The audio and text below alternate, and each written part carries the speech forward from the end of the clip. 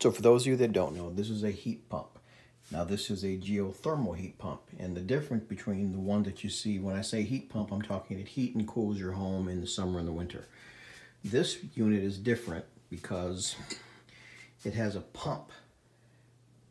And what happens is these tubes here go into the ground and down into the earth.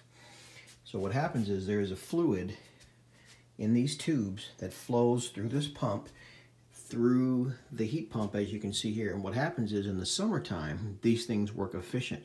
Inside of here is a condenser compressor that would normally kick on if this was just a conventional uh, air conditioning heat pump slash unit. But by it being geothermal, the house is cooled by the 55 degree temperature fluid that's in this system here. So if you want a system that's efficient, you might want to consider a geothermal system. They're not cheap.